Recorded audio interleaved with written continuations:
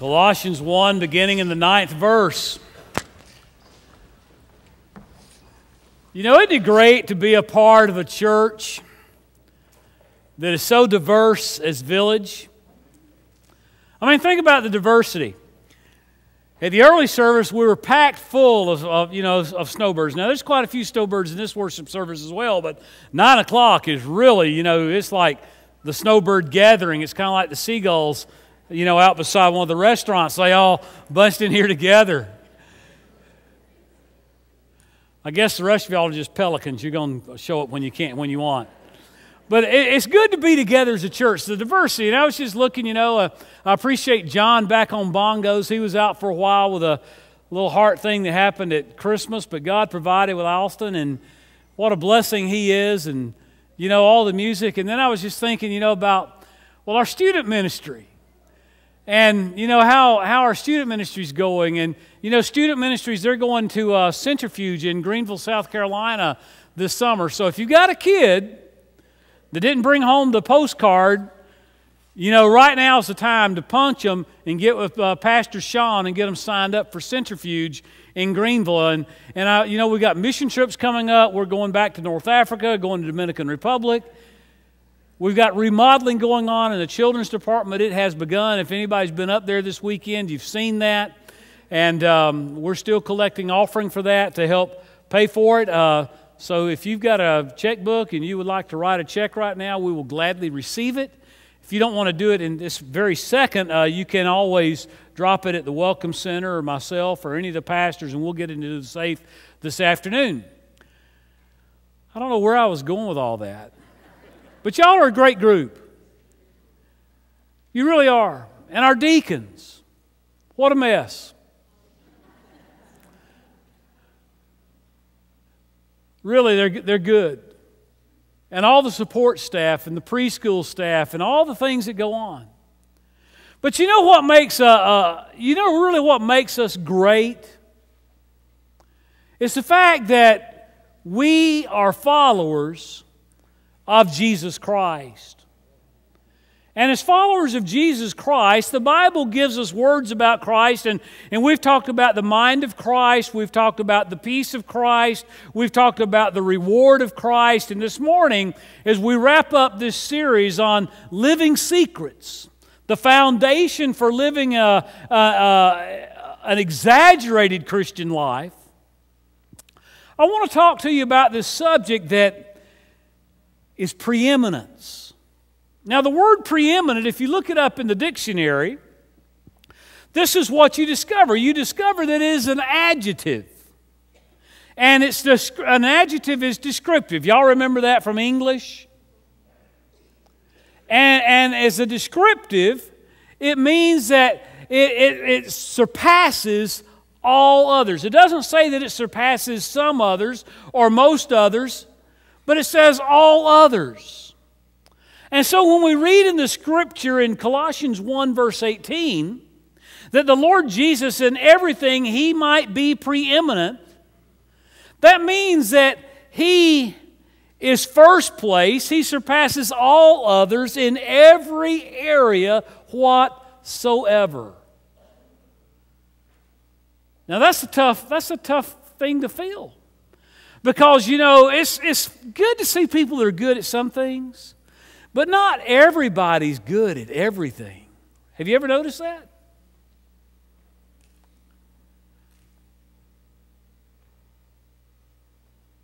But Jesus Christ is not just good, He surpasses in all things. Now, you also have to back up and understand to whom this letter was being written. It was being written to the people of Colossae. And what was going on in Colossae is they had uh, these people that were mixing what we call Gnosticism and Judaism together, and then you had the opposite sides even in that and all that kind of stuff. And so there was a heresy going on. Now, I had a class way back uh, when in seminary, it was called Spiritual Foundations for Ministry, and I remember Colossians so vividly because we came up with this little saying to remember what was going on in Colossae. Woe is me, woe is me, heresy in Colossae. So you see, you get that down, you always remember there's a heresy going on. Now, what is Gnosticism? I mean, you know, it's kind of a big theological sounding kind of a word, but it, it, it simply says that I've got a spiritual, special, inner, higher knowledge than you. I know something that most other people don't know. I've got an intuition that comes from God. Oh, you won't find it here because God has specially revealed it to me. And then you had this thing of Judaism going on. And, and in Judaism, you had the element of, of legalism happening. Has anybody ever been a part of legalism in your life? You know, we, we've had legalism, certainly. You know, I grew up in a home, and as most of us did, but my dad didn't allow playing cards in the house because you could gamble with those. We also didn't have games that had dice in them because you could gamble with those. We had Candyland and Old Maid. but, you know, my, my dad came out of that tradition a great Christian man, but, but he had that. And some of you grew up that way, right? You know, I'm not talking something that's foreign. But also in legalism, we say, well, you know, to be a good Christian, you've got to dress a certain way. You've got to carry a certain kind of Bible. I mean, there's a whole group of uh, people over in Pensacola that believe that, that God spoke in the King James only. Y'all don't find that funny? It's not just Pensacola, but there's a. Uh, I mean, that's the center of a foundation there. Jesus spoke in King James English in 1605. Thank you. But we, you, you see how we add legalism into things? And, and, and, and so we have these expectations, and legalistically, we want to look at one another and size one another up as to whether or not we really fit in the Christian life and where we sit in the Christian life based upon a legalistic view. Or we try to do it from a Gnostic view that, oh, well, I've got, a, I've got an intuitive inner knowledge that God's given me and nobody else. And, and we put on this act. And these ideas play out today, uh, you know, uh, in intellectualism and in spiritualism. And, and, you know, we have to have an answer in the church. And the answer is only one response. And that one response is the preeminence of Jesus Christ, that in all things he might be preeminent. To be preeminent means that he is above and he surpasses all other things. So Paul speaks to three areas in which Jesus is preeminent. First of all, he says biblically, he surpasses all other things. Biblically, Jesus Christ is preeminent. In verse 18, that in everything he might be preeminent. You know, what we gather right here is if I have the wrong view of who Jesus Christ is, the reality of Christ, I will have a wrong view of everything else. If he's just a great man, my, my, my historical thinking is more than messed up, and my actual living is messed up. So, to have the wrong view of who Jesus Christ is, is to, is to mess up everything else because Jesus Christ is the full and the final revelation of God the Father. In other words, Jesus came to earth to show us the Father, right? He, he's God in the flesh. The Bible, as we'll get into it in a moment, in Him the fullness of, of deity dwells. And so he is uh, the full and final revelation of God the Father as revealed here in the Word of God. You know, God's not going to speak to you through another word, He's going to speak to you through His Word. If you have some intuition going on in your life that God's speaking, His speaking will always be backed up by the Scripture. And it won't be a proof text of one verse, it'll be backed up by the whole of Scripture. If God speaks to you through other people, which He does, the church, it'll be backed up through the Scripture. Everything comes back to the Scripture. So the Scripture is of supreme importance. But Jesus Christ is even superior to, to all other things. And, and, and so when I began to look at that, I discovered that He's the center of, the, of creation. In verses 15 and 17, the Bible says He is the image of the invisible God. He's the image of the invisible God. He is the firstborn of all creation. And He is before all things, and in Him all things hold together. So Jesus Christ is the eternal image of the invisible God. And as the Lord Jesus is, uh, we find that He is the creator and He's the chief conservationist of the universe. You know, I, I, I bump into people that call themselves conservationists. As a matter of fact, uh, there's just a golf tournament um, that was sponsored by Waste Management, right? What's the name of that tournament? The Phoenix Open. And did you know that the Phoenix Open leaves a zero carbon footprint? In other words, everything's recycled. Uh, their, their electricity comes from solar power. They leave a zero carbon footprint. They are conservation minded, right? But Jesus Christ surpasses even waste management. He is the conserver of the universe. Because of who He is, the sun burns continuously. The stars shine in the night.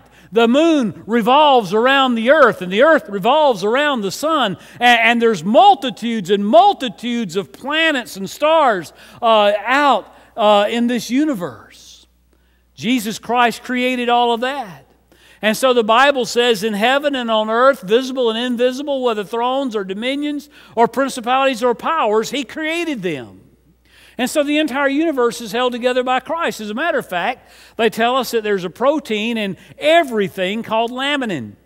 Now, I don't do the job on this that Louis Giglio does in talking about it, but I would encourage you to go before the game, you know, while you're waiting on your wings this afternoon, Google up Louis Giglio, and, and, and you'll certainly come across his video called Laminin. I mean, it's a really powerful preaching that he does right there.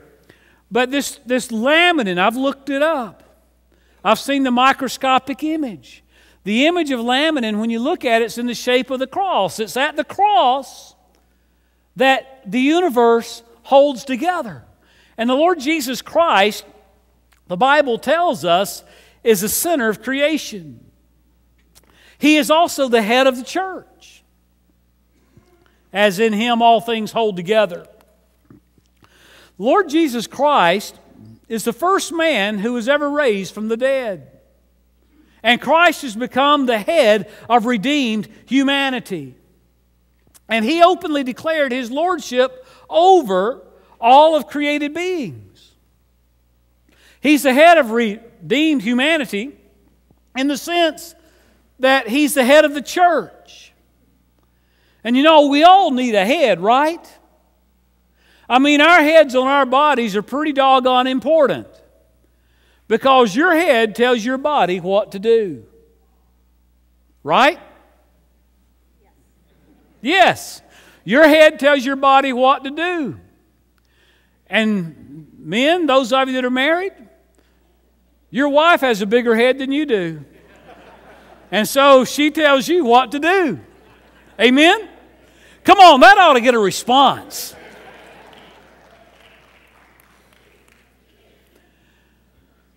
But we have an even greater head over us as, a, as, as those who are redeemed humanity, as those who make up the church of Jesus Christ.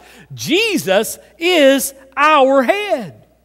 And in Ephesians 3 9 and 11, the Bible says to bring light for everyone what is the plan of the mystery hidden for ages in God who created all things. So that through the church, the manifold wisdom of God might now be made known to rulers, authorities, and, princip- and heavenly pla- uh, uh, principalities in heavenly places. Do you realize that you, as a child of God, as a part of His church, now I'm not talking about being a member of a village or a member of the Methodist or a member of whatever, I'm talking about the church. Understand, when we get to heaven, the Baptist and the Methodist aren't going to be on opposite corners of the street, right? The church.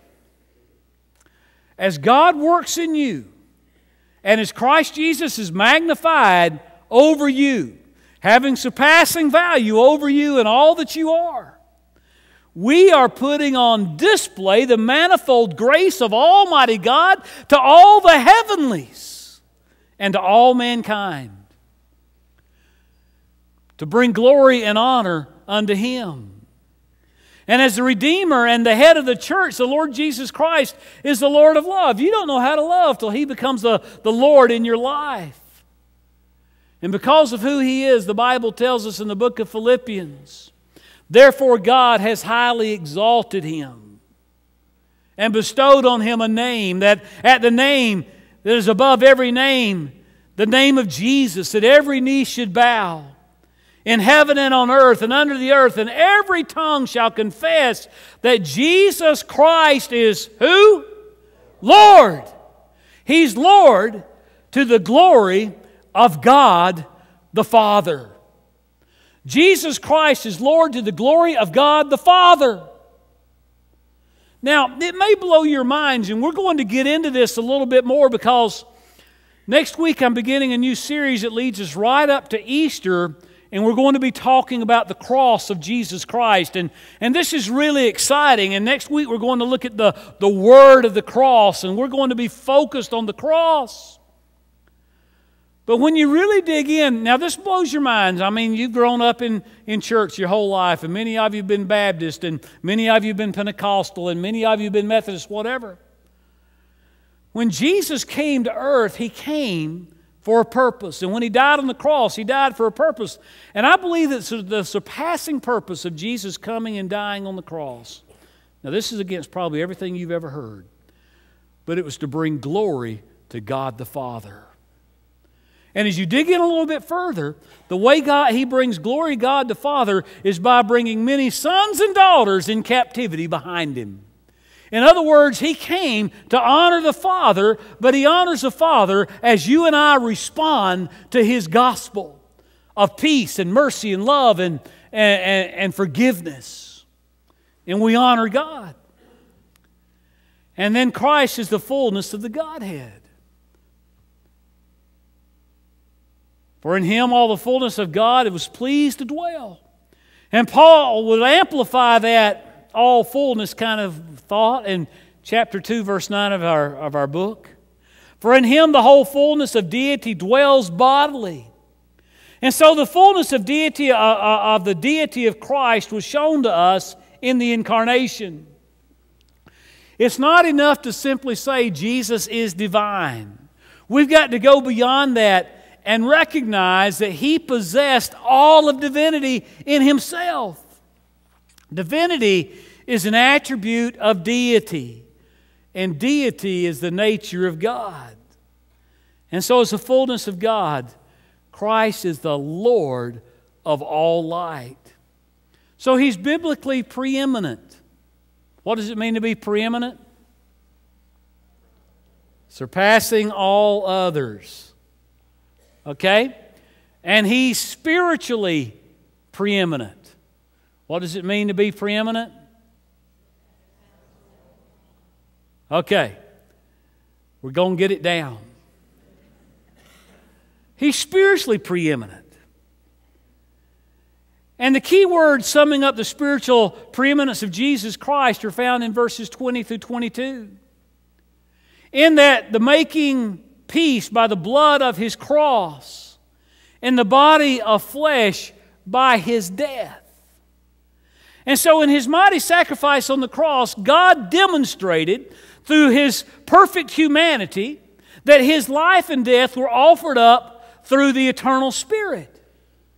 The writer of the Hebrews put it this way in Hebrews 9:14. How much more will the blood of Christ, who through the eternal Spirit offered himself without blemish to God, purify our conscience from dead works to serve the living God? So, what we find here is Christ was spiritually preeminent.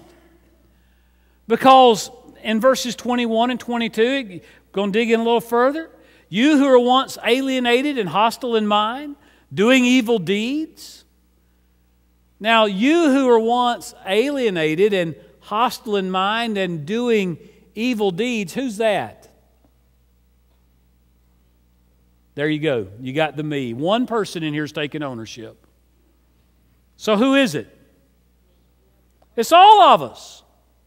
Every single one of us. We all have to own. We all have to own our sin, misdeeds, and failures, right? I mean, if we're going to own the wins in life, we've got to own the failures in life too. And so we've got to own it. And then it says, He has now reconciled in His body of flesh by His death. Why? In order to present you holy and blameless and above reproach before Him. His body of flesh, this is what it refers to. It refers to His history on planet Earth. We're not talking about his history prior to planet Earth, prior to the incarnation, prior to the birth in Bethlehem. We're in, at this point talking about his history in those 33 years here on earth. Okay? And, and, and so we read the gospel and we see that in his body of flesh, he was preeminent. His walk was spiritual. Think about this. He was declared in Hebrews 7 26 to be holy and innocent, unstained, and separated from sinners, and exalted above the heavens. No one could challenge his character and his behavior. Now, he was holy, separated, he was innocent. You know, we're entering into the presidential political season. Nobody saying, oh. I dread the political ads. Because you know what they do in this season? It doesn't matter, you know, where they stand politically. They all try to dig up dirt on each other and sling that dirt like crazy. What if they were to dig up dirt on you and I? Who would be willing to undergo such scrutiny as that? In the last service, they had one guy raise his hand. I'm thinking, man, you're crazy. Because, you know, we don't want them digging up dirt on us. We don't want it plastered out here how bad we've been and what we've done and who we've been associated and where we've gone and where we've spent and what we've bought. We don't want to do that. Right? So, you know, we're not, we're not willing, but Jesus is innocent. He's unstained. He's separated from people like you and I. No one could challenge the character of his behavior. And when he faced his critics, this is what he said Which one of you can convict me? You look at Jesus from every angle, there's no problem. His words are spiritual. People exclaimed, and in the Gospel of uh, John, no one ever spoke like this man. In Luke, they marveled at his gracious words. They came forth from his mouth. In Matthew, the scripture says when Jesus finished these sayings, the crowds were astonished at his teaching, for he was teaching them as one who had authority, not like the scribes. Jesus wasn't teaching with a, with a, a dead orthodoxy, he was teaching with a, a, magne- a magnetic communication. Now, what we're talking about this morning in, in the preeminence of Jesus Christ is orthodox. I mean, it's orthodox. It means that it's foundational for our Christian life. And we have to have orthodoxy, but it doesn't have to be dead. It can be alive, it can be flourishing, it can be radiant, it can be attractional. Jesus was attractional, and his works were spiritual. You know, those who witnessed his many miracles and all of his deeds, they said, He has done all things well. You know, if you looked at me, you couldn't say, I've done all things well. I look back at more than 30 years in the ministry and, and I say, I have not done all things well. There's things I would have done differently if I could go back and have re- redos. But can I tell you, the life very seldom offers you the opportunity for a replay. That only happens in sports television. But the good side of it is, is this one who does all things well comes alongside us and picks us up and walks with us. There is a spiritual preeminence in his death. The scripture says in verse 20, He made peace by the blood of His cross. That, that blood of His cross speaks of, of, of His preeminence, of His death in history. His death in history was the first time and the last time that Jesus Christ will ever die. And through that, He accomplished something. He accomplished redemption and forgiveness for you and for me. To be redeemed means that We've been bought, ba- bought back by God. You see, we've been sold out. We sold ourselves short. We believe the lie of the devil. We believe the lie of the world. We believe the, uh, the lie of our own ego. And we sold ourselves short. And in that selling ourselves short, we were sinners, separated from God. But Christ accomplished something in his death that no personnel, no other person could accomplish. He accomplished redemption. He paid the price to redeem us. And he accomplished something else that nobody else could accomplish. He accomplished forgiveness coming from the throne of God. And in that forgiveness, He brought about a God made peace that none of us could come up with, and thereby we were reconciliated unto Him because of His cross, because of His death. And it's at the cross of Jesus Christ that heaven's love and heaven's justice meets. God loves His creation. You know, I love my kids. You love your kids. And in love, there's provision. In love, there's care. In love, there's watching over. In love, there's a freedom that allows them certain things. But every once in a while, justice has to meet that love. And so there's a punishment involved. Maybe they're grounded. Maybe they've got their social media taken away, no computer time alone, no telephone, no, no telephone. I mean, most of us grew up without pocket phones, you know. You can get by without those. Can't do that. And so justice meets love, right? and we carry out the punishment. And when we feel that enough has been punished, we give them back their phones or we take their grounding away or whatever else, and they're, they're once again smiling. And when I look at what Jesus Christ did in redemption and in forgiveness, when I look at what He did uh, to remove my sin and to make a, a peace uh, through, uh, from the Father for me, to reconcile me, it all leads to a decision. It all leads to a decision. And, and this is the most important decision that any one of us can ever make in our life. And it's the decision of whether or not Jesus Christ is going to be personally preeminent in my life. That he is going to surpass all other things.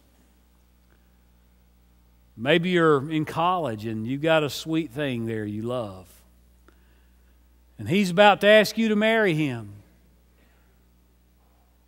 Well, maybe he's not such a sweet thing, but he's sure is a handsome hunk. And you're the sweet thing. I don't know.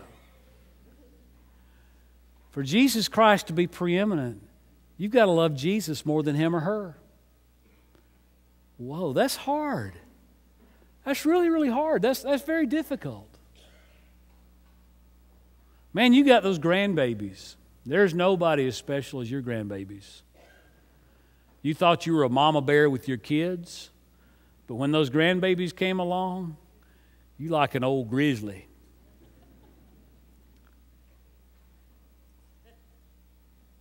But for Christ to be preeminent above all other things, you got to love Jesus more than your grandbabies. You've worked hard all your life. Home, career, all that stuff. You got to love Jesus more than all that. You see, Jesus said, we got to count the cost. He said, if anybody desires to come after me, if anybody desires to come after me, because understand that the, the road is, is broad and the gate is wide that leads to destruction, but the, the way is narrow and the gate is small that leads to eternal life. He said, If anybody desires to come after me, let him deny himself. Deny himself and take up his cross and follow after me, right? Man, if I'm going to deny myself, I've got to even love Jesus more than I love me, and I love me pretty well. Don't you love me pretty well? You're me. I mean, you look in the mirror in the morning and you say, Good morning, me. Oh, you look good this morning, even if your hair is messed up. Oh, me, there's nobody quite like you. Now, you may not actually say that. You may not even consciously think that. But subconsciously, we live that out. We think the, the, the universe re, revolves around me. You know how I know that, even in the church? You know how I know church people think that the universe revolves around them? Because of silly phone calls that we get.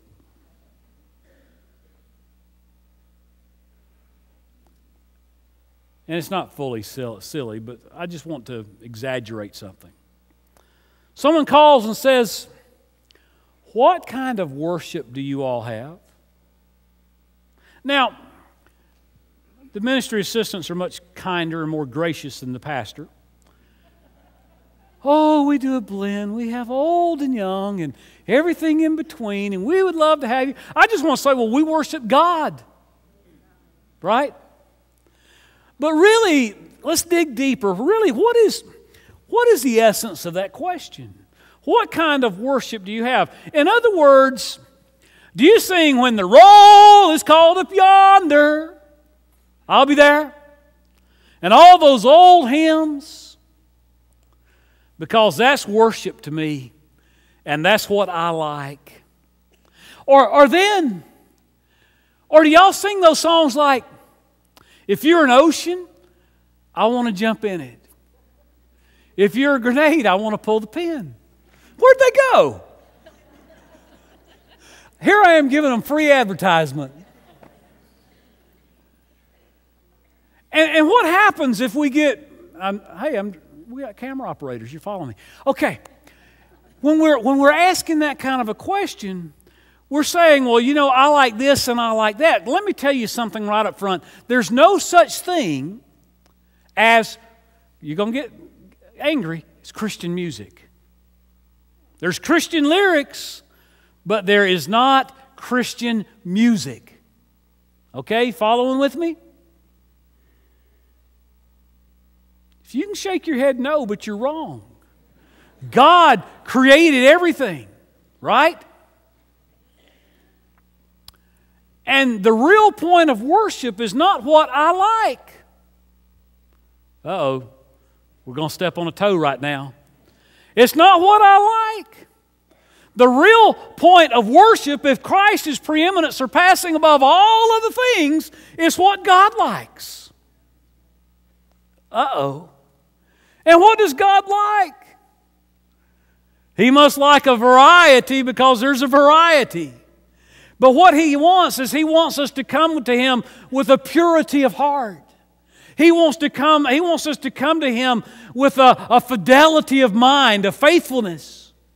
He wants us to come to Him with a love that surpasses all others and says, Lord, I love you, I love you, I love you.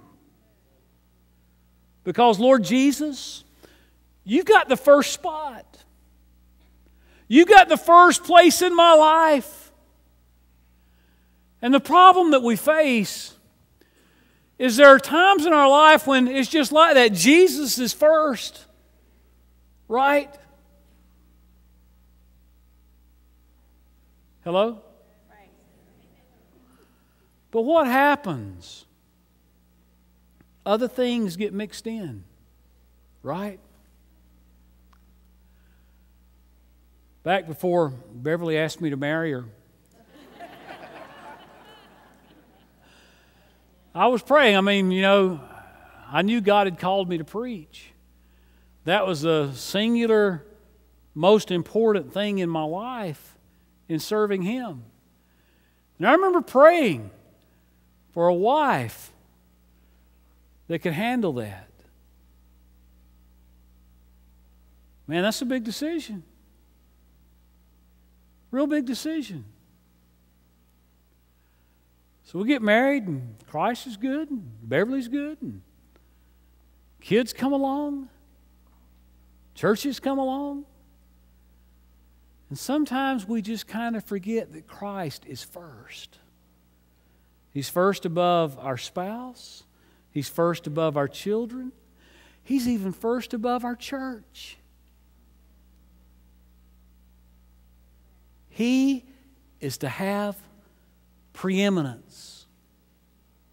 Preeminence. You know, we can all accept that. No problem.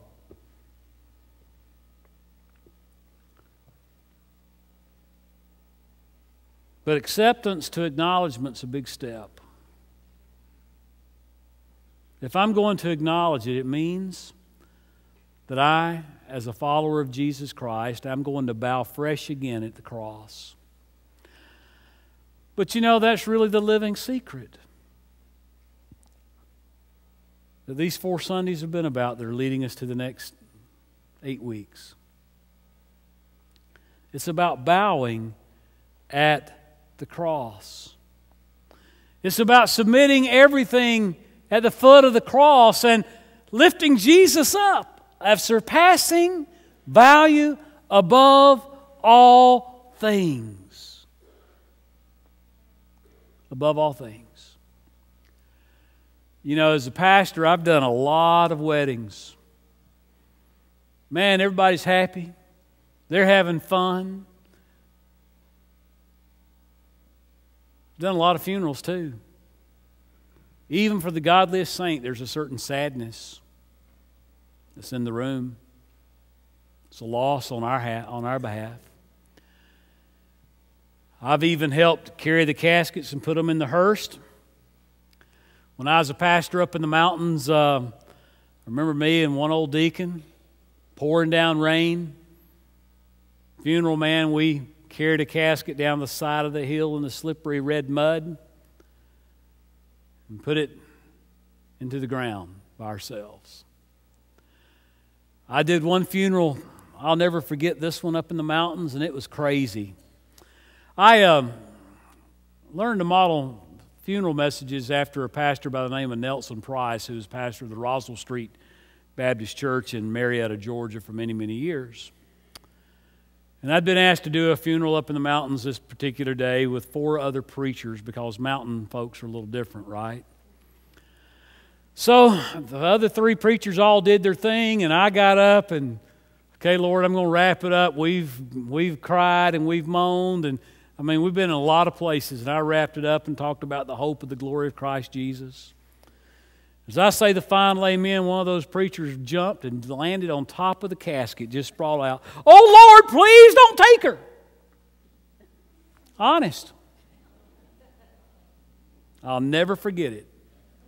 You know, I should have been writing this down in a book a long time ago. But I've never seen God bring somebody back to us. I've only seen them go. And I've, I've buried poor men, and I've buried rich men.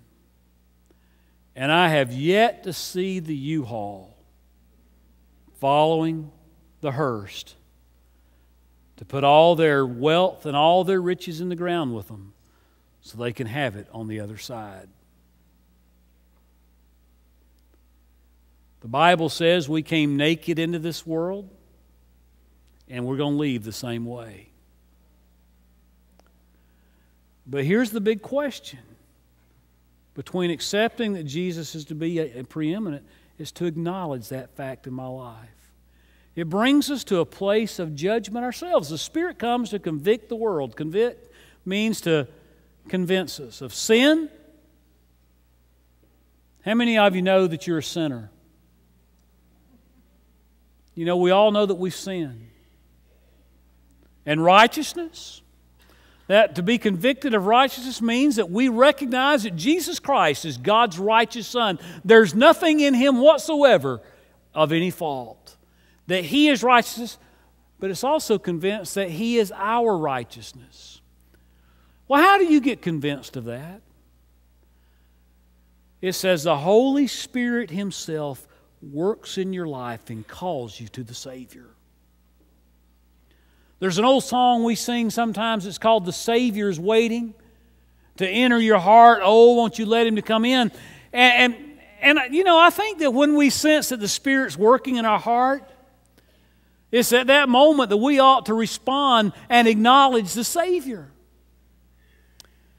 Because you see, the Spirit also convinces us of judgment. If we're convicted that Jesus Christ is our righteousness, we're also convicted that He took our judgment on the cross. He took that judgment for me. He took what was required for my sin for me. But if I don't acknowledge that, that judgment's still on me. And God says if I pass into eternity, it doesn't matter how much wealth I've got, or if I pedal the village on a bicycle with two Walmart bags on Sunday, and we got a couple of folks like that if I don't come to the place where I have acknowledged Christ, that judgment's on me. And when I go into eternity, God says you'll be separated from me forever and ever in a place of weeping and gnashing of teeth. There's no do overs. A place where the worm does not die and the fire is not quenched and the thirst is not quenched. A place of fire and brimstone, a place called hell. You see, it's important that we come to the knowledge of that truth because that's the most important acknowledgement that we can ever make. So I want to ask you something this morning as I wrap it up. Does Christ Jesus have the preeminent place in your life?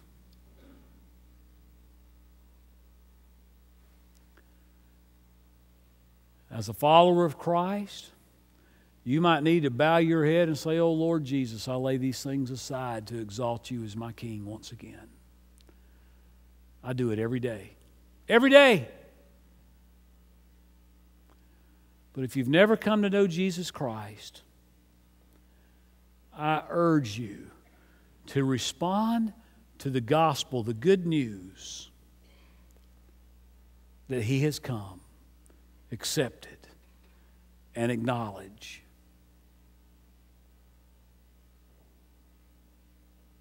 Would you come this morning? Would you say, Pastor, I'm trusting Christ?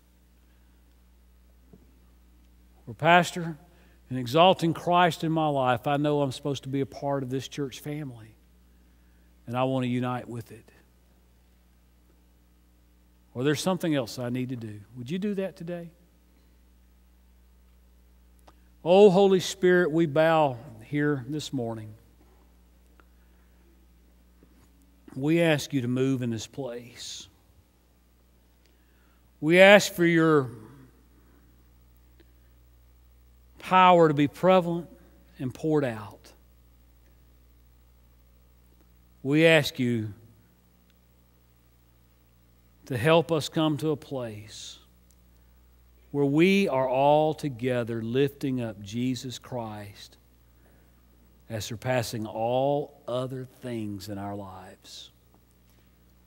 Lord, to you be the glory, both now and in your church, and throughout all the generations. In Jesus we pray. Amen.